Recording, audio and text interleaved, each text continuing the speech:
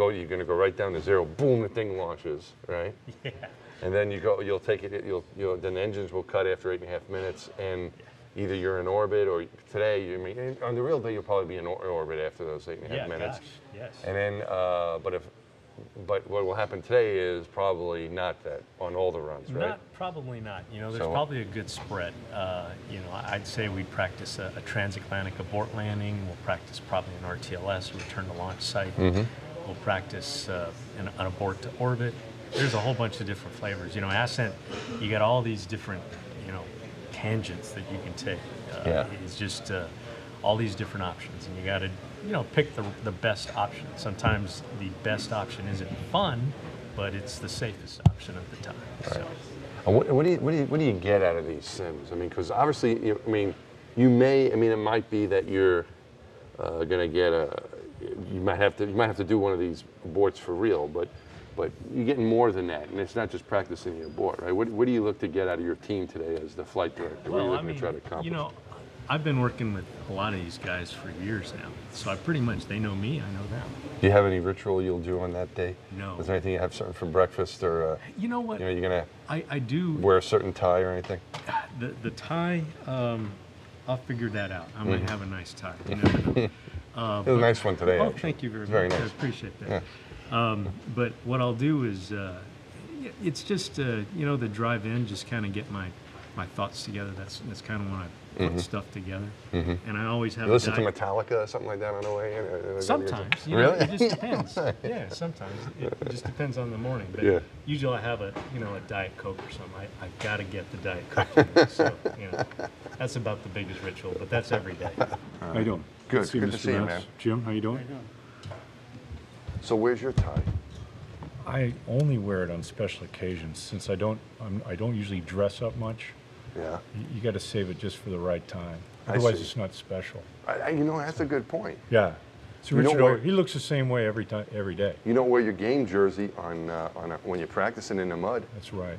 He's got a good point there. I get dirty. I roll my sleeves up. I get ready You to do, that's swing. right. I get ready to go. That's right. All right. Well, we don't want to distract because you're, No, you're, you're what are you doing? You're You're gonna you're gonna sign in and stuff. yeah, just getting everything set. All right. So, So- we are getting ready for the ascent sim this morning, our Right. fourth one with the 133 crew. All right. And what are you what are you guys gonna be doing during this? And Um, your, your ground control. Here's the thing, right? It says ground control.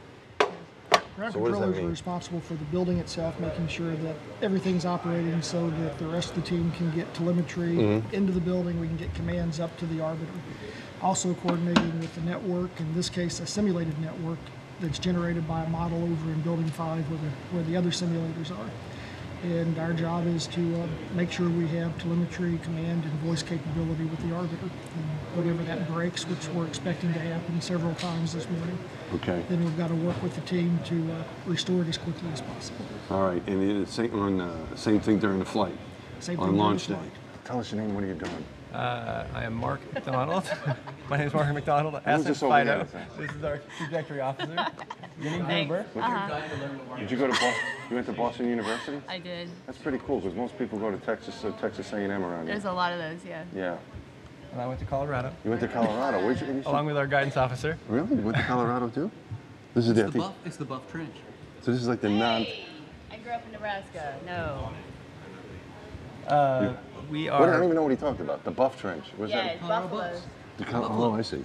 But you grew up in the. We have a Nebraska-Colorado rivalry in Is there? football. See, I'm from New York. I have no idea. We just, we just have fights between families. All right. So uh, what do we got? What do we got going here? What are you, what are you doing right now? What, what, what's going to be your job this morning? Uh, what we typically do, both pre-launch and pre-simulation, is we get the uh, the targets, guidance targets, uh, ready for launch based on the station state vector. Okay. So, uh, and that's called the IWIS. So that's where the shuttle's going to steer to. Okay. Um, so by target, you mean like where you want to put the space shuttle so that it can Correct. hit the uh, the space station. Correct. And you- so you- we're setting it up to, to rendezvous on flight day three. Okay, but, but you already know that, right? I mean, you figured this out for, for years, right? I mean, uh, for a long time. I mean, you know where the station's going to be. Right, But but is it- it- something? It might be a little bit. You got to. It might be different today, or is it going to be Right. different than what you its altitude will vary flight to flight, Uh-huh. and our uh, TOPO officers keep track of that uh, very closely. They have to. TOPO. uh, What does that stand for? That's uh, Trajectory Uh, operations officer. Thank you. Thank you. I'm trajectory you're operations officer. That's the tra- trajectory person on the station side. I'm the FIDO lackey, basically. I provide things like that and coffee and and of course, they're having to maintain a trajectory in coordination with the Russians and other uh, partners to make sure that all of the visiting vehicles are going to be able to rendezvous uh, given their, their performance capabilities. In relation to the, what, what's that? What- what- Is that, is that your mom? That's a ring Hey, light. tell us to go away. Mom, I'm right in the middle of something. All right, tell, tell me you're busy. Who is it? All right, so you really didn't So you that's need to our- pick that up? Who is that? No, I don't need to You pick that sure? up. The Maybe TOPO, it's- our maybe trajectory it's the guy operations telling you the officer is space- going the to pick space that up. station's in the wrong orbit. All right, so we've got we've got Bryan Lunney here. You're a uh, flight morning. director. Yes, Good sir. morning, Brian. Thanks for that. I know you're very busy, but we appreciate you taking a break. Glad to be here. And you you're a flight director. You've done uh, done sp- shuttle station. You're also Ascent. Is that right? Mm-hmm. Yes. Okay. And if you can tell us what's going on back here. So for each front room person, there's usually a couple of back room people helping them out. The back room position usually is a smaller piece of the front room position so that that individual can come in from college or whatever, a newer guy, and learn that smaller piece, learn the other smaller piece, then move out to the front room. Right here we have the flight, flight the front room being that room. Yes, sir, out in the right, mission right, control. All right.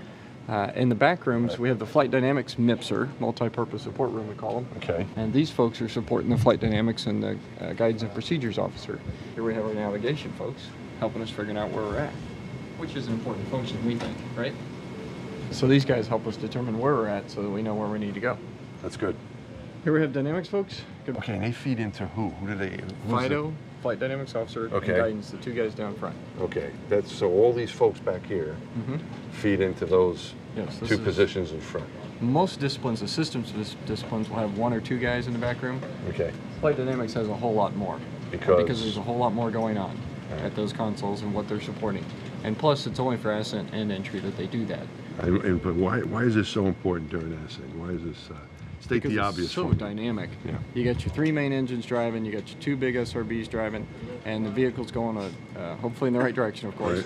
And they're monitoring the performance to be sure that we hit our MECO targets at the right time. And if you don't hit your MECO targets, your Main velocity. engine cutoff. Sorry, main engine right. cutoff targets, uh, your velocity, your glide path angle, uh, a couple other important parameters to make sure that uh, you're going in the right direction in order to get to station. If you don't do that correctly, you may not even get to orbit. Right. And what did, what can they control? Because they can, you know, when you're inside the shuttle and the thing goes, it's kind of like, well, this thing's on its way Mm-hmm. and we're going wherever we want. But they can actually uh, adjust what's going on while we're sitting there taking our ride. They will ask the pilot to adjust, for example, a throttle setting. Okay. Change how fast the, the throttles engine throttle up from 104% down to 66%, for example, Right, right. or whatever they need to do. Okay. Uh, sometimes we go to max throttles for certain main engine out cases and Okay. contingency abort cases. All right. Um, one of the counterintuitive things they'll ask you to do is throttle back so you can burn longer for TAL targets, which always makes people Transit, confused. Going over the ocean if we, we can't yes. make it there. Yes, if we Alright. lose an engine early, we end up going over, land, aiming for a landing in Europe. Mm-hmm. They'll ask them to throttle back so that we can Save go gas. longer. Yeah, it, Sorta, it helps us. It helps the MECO targets again, the main engine cutoff targets. Okay. So on this Alright. side of the back room, Yes. What do we got here? you have the uh, the system, one of the systems, uh, backroom personnel. And uh, for example, right here we have the computer folks, uh, the uh, data processing system, uh, supporting the folk, the DPS officer Mm-hmm. up front. We have the INCO back room, who take care of the communications, instrumentation on board, Okay. making sure the S band and the TDRS and the ground and uh, talking to the MILA ground sites are working well. Over on the far end, you have the MMACS mechanical folks taking care of all the mechanical devices on board, the vent doors, the landing gear, all those big things like that. And then the electrical folks are kind of in between there. EGIL supporting EGIL, they take care of the electrical, electrical fuel cells and distribution of electricity throughout the vehicle. Mm-hmm. Then the life support guys and the thermal guys support the EECOM.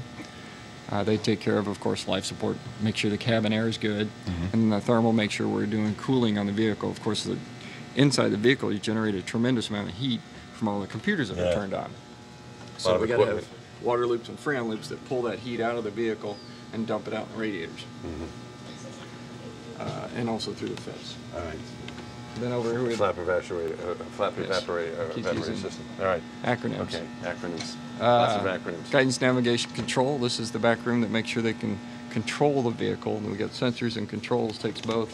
So they're sort of the steering wheel, if you will, of the vehicle for a car.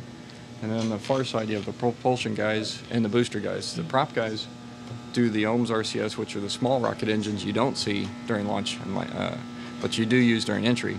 To the left of them is the booster mat back room that does the main engines that are the big rocket engines we see at launch. So again, the same idea. Take your one discipline, that one systems guy out front, break his system up in a couple of small pieces, and then divvy it up here in the back room for someone to specialize in, so they can learn that discipline, and then uh, train them to help you out during the during the flight. Who made the cake? You make the cake? I make the cakes. What's your name? Kathy Bupane. Kathy? Mm-hmm. What's your last name? Bupane. Bupane. Uh-huh. Okay. And you make every one of these cakes? I do indeed. You do? I do. So Every this mission. Is, this is the special launch cake, Yeah. which is the carrot cake. Yes. And We've it- only changed it a couple times, and they don't Okay. like it when we change it. All right, so this is why, this is one of the reasons you simulate, you have a simulation as well, is to make sure everybody likes the cake.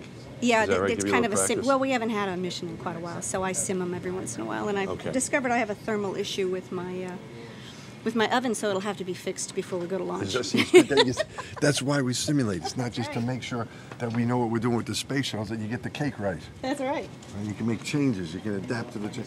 All right, so. So they can't fly without my cake. Right, what else do you do here beside the cake, though? You must I used to be a TAO.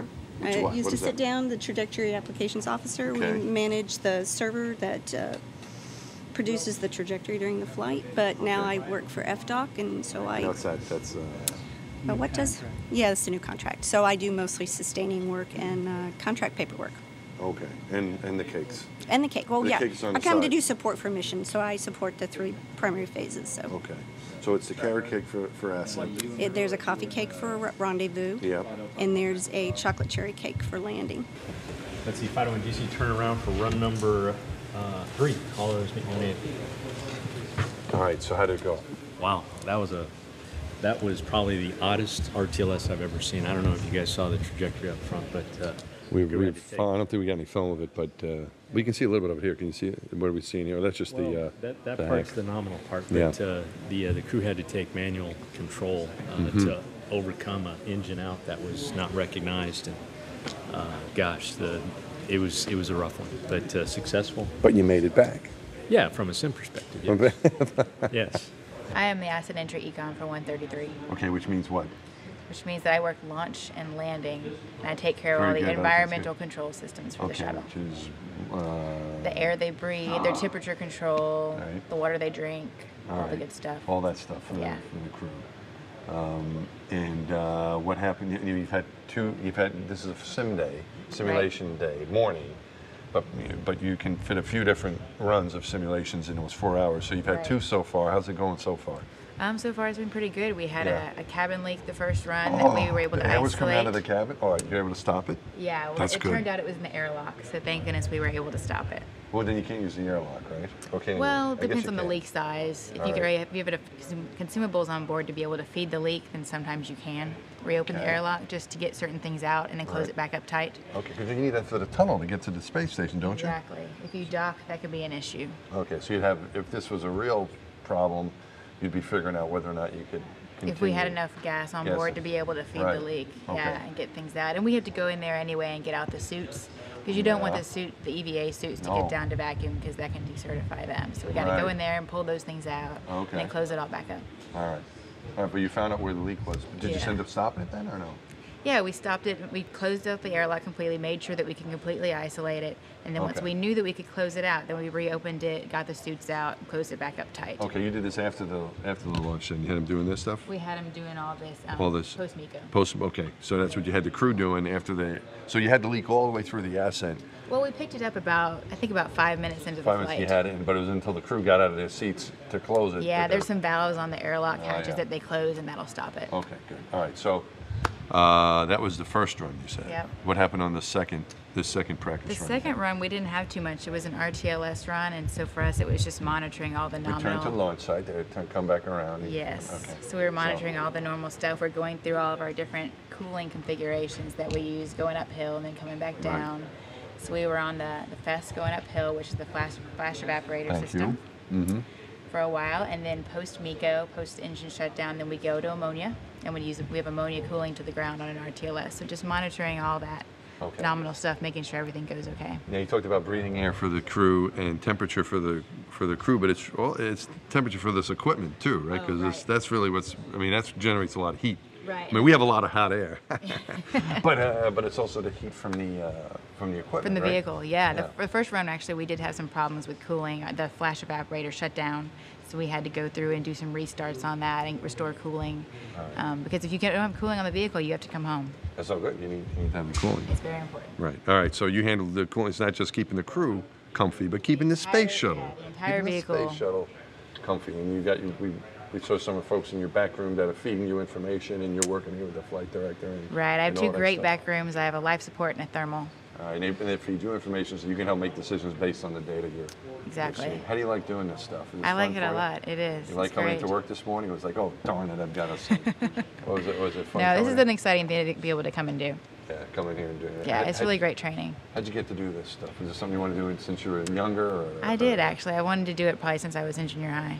So Did you a what? since I was in junior high, probably. In junior high. Okay. Yeah. So it's been a while. Would you grow up around here? Or were you I did. I grew up in Clear Lake. Went to Clear Lake High School. Oh, so my kids go now. Oh, really? Yes, maybe there's, there's hope. Maybe. That's a nice school to go to. I did. Yeah, nice- nice yeah, it was great. Okay. All right, Sarah. Thanks very much for visiting with us. You got another problem. run coming up here quickly? Yeah, or a couple more. I think we might have a break though first. Here. Yeah. You, did- what, what's going on? The debriefing with the crew right now? Yeah. All right. Do you need to pay attention to what's going on? I didn't have any failures, so I'm probably All right, okay. you're in good shape. All right. Thanks, Sarah. All right. Oh, and you're the booster guy. Correct. So we're looking at the three engines. We're looking at data for the external tank, Yeah. data for the solid rocket boosters, mm-hmm. and data for some of the valves within the orbiter. Okay. And some of our data was telling us that the center engine might have failed. Might have failed. Might have failed. We couldn't confirm that it was out. Okay. And so a lot of the discussion just just went on about how we could confirm that it was out if we didn't have some some backup cues. All right. And uh, we ended up going on an RTLS or return to launch site Yeah. trajectory. Okay. And you should, but that was not the right thing maybe to do? No, it was the right thing to do. The engine had failed. It did fail. Yeah, it took us about a minute to figure out that yes, it was out, Okay. and uh, so we had the crew perform the, the RTLS abort. Okay. So it all worked out okay. It did. All right. What was it like for you? Was it pretty hairy? It was hairy for the first uh, couple minutes because you couldn't tell if that engine was running, and the flight director is looking for you to, to tell him yes or no, and you just don't have any data telling you telling you either way. So what what made you decide that it actually was out? When we got to near when we got near SRB separation, Yeah. the acceleration was about 0.6 Gs, and When the solid rockets were going to leave. Exactly. Right. Normally it's about 0.9 Gs. Okay. So our inclination was that yeah, it had failed, and we told the crew to, to get ready for the RTLS aboard. Okay, so that's what that's what it was. Mm-hmm. All right, cool. So, so how do you like doing this? Was it fun for you, or was it? a- Oh, it's a blast. Yeah. It's it's stressful. but, Literally. uh, yeah. Yeah, yeah. It's, uh, stressful, but it's fun. Exactly. Yeah. All right. And You had- know, they have to make it stressful on us here in the simulations and give us a lot of crazy failures because, you know, when that one thing, if one thing does fail on uh, actual launch day, it can be very stressful. Right.